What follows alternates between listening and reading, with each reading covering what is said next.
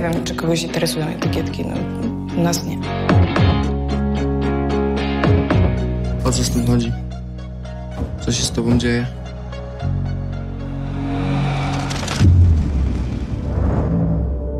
Córeczko, czy ty mogłabyś już skończyć z tymi przebierankami, co? Wyjdź. Po prostu czasem to jest dla mnie wszystko za dużo.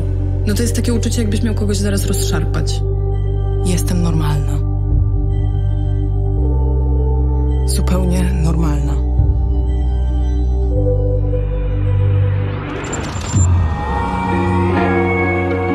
Całkiem spoko z ciebie, Tosiek.